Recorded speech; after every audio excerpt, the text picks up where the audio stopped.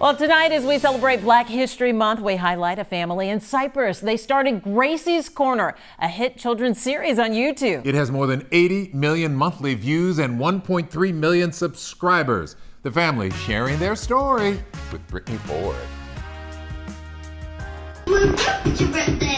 People across social media can't seem to get enough of Gracie's Corner.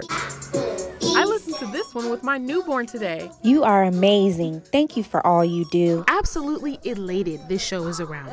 My baby is two months and loved this show. An educational children's series with catchy tunes and lyrics. Created right here in the Cypress home of Javoris Hollingsworth and his wife, Arlene. Inspired by their 10 year old daughter, Gracelyn.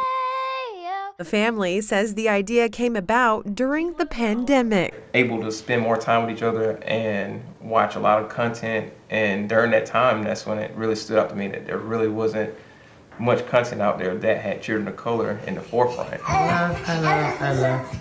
The sing along animated series fosters cultural representation and is nominated for a Nickelodeon Kids' Choice Award and an NAACP Image Award. You know, we're just, uh, I guess, what I would consider a regular, ordinary family who you know, decided to make a change. Javoris is a former educator, Arlene a psychologist. The two had no prior video or producing skills, creating Gracie's Corner from watching online tutorials, leaning on one another's talents. Different pieces that we have here where my daughter's doing the vocals, I'm on the music, my wife is, uh, is providing insight too on a lot of the mental health components that you see in the different songs. Their message to anyone who sees a need for change. It's not just going to happen overnight. Like we've been doing this now.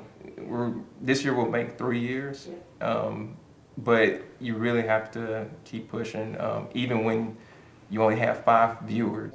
Brittany Ford. This is Gracie's Corner. Watch out for more. KHOU 11 News.